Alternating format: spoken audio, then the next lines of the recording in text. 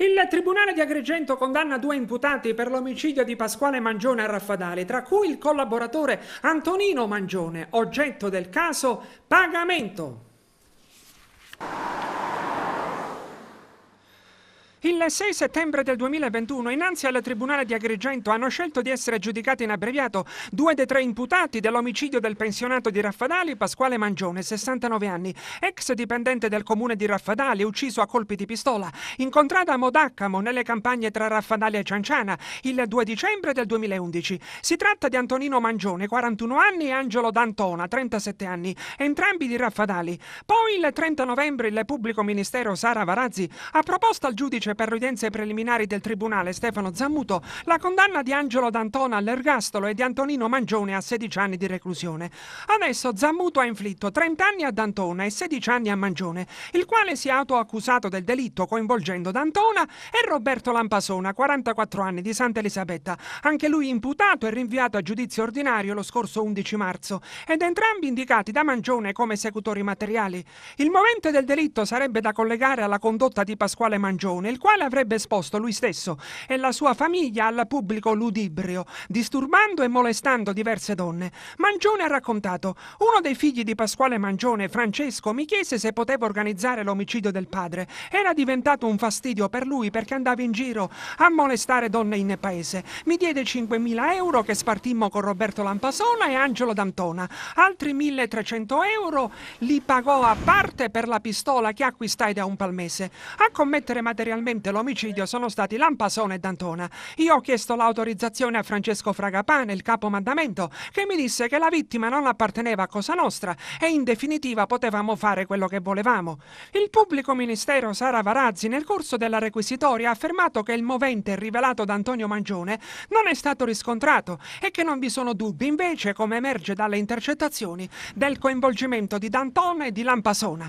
Nell'ottobre del 2021 la stessa Sara Varazzi ha proposto proposto l'archiviazione delle indagini a carico di Francesco Mangione, 49 anni, e il Tribunale ha accolto e disposto di conseguenza.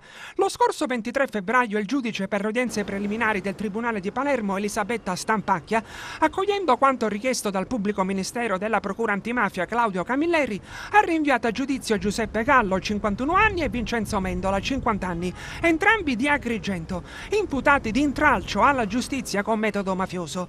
Gallo e Mendola si sarebbero rivolti alla allo stesso collaborante di Raffadali, Antonino Mangione, e alla moglie e con minacce e l'offerta di 5.000 euro li avrebbero invitati a ritrattare le accuse di abusi sessuali a danno della moglie di Mangione contro il presunto boss di Agrigento, Antonio Massimino.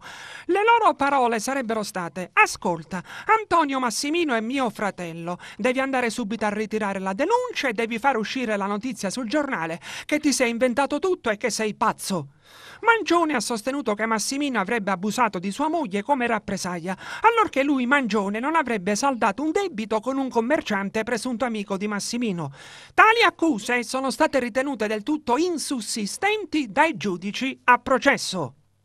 Lo scorso 18 dicembre l'avvocato Salvatore Pennica, che assiste Angelo D'Antona, ha presentato un esposto alla procuratore della Repubblica di Agrigento e ha scritto Angelo D'Antona, compagno di merende di Antonino Mangione, ha sempre sostenuto che Mangione è stato pagato per accusare. Dunque, il 13 dicembre scorso è stata ascoltata la compagna convivente di Antonino Mangione, che secondo quanto dichiarato da Mangione sarebbe stata vittima di sequestro di persone e di violenza sessuale, consumata innanzi allo stesso Mangione da parte di Gabriele Miciche e di altri imputati che hanno scelto di essere giudicati in abbreviato e che sono stati assolti.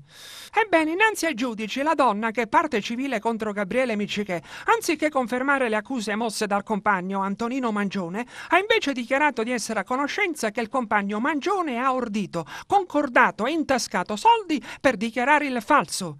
Dunque, a fronte della richiesta di condanna all'ergastolo di Angelo D'Antona, accusato da Antonino Mangione dell'omicidio di Pasquale Mangione, E a fronte del processo in corso a carico di Gabriele Miciche, accusato da Mangione di sequestro di persone e violenza sessuale in concorso, chiedo l'acquisizione del verbale dell'udienza del 13 dicembre, in cui è stata ascoltata la compagna di Antonino Mangione. Denuncio l'accaduto e sollecito l'accertamento penale su circostanze inerenti la collaborazione di Mangione. Diritto di difendersi tra il pronunciare o l'annunciare